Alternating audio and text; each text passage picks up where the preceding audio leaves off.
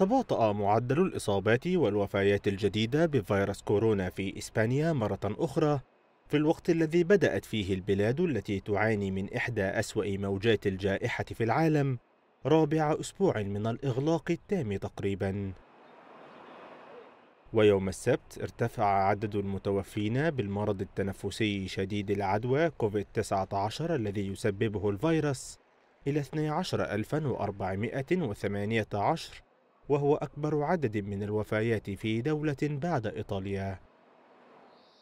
ومع ذلك فإن عدد المتوفين خلال الأربع والعشرين ساعة المنقضية طبقا لوزارة الصحة وهو 674 شخصا يقل عن عدد الوفيات أمس السبت والذي بلغ 809 أشخاص.